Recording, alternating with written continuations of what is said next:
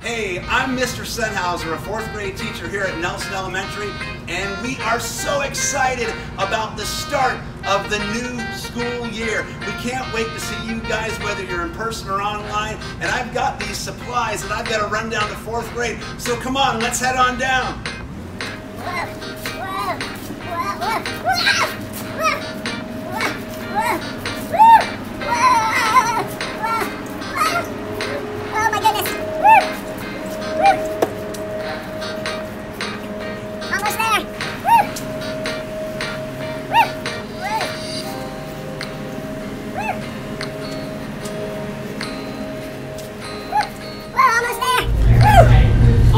Twas the week before fourth grade, and all through the school, every teacher was planning and making new rules.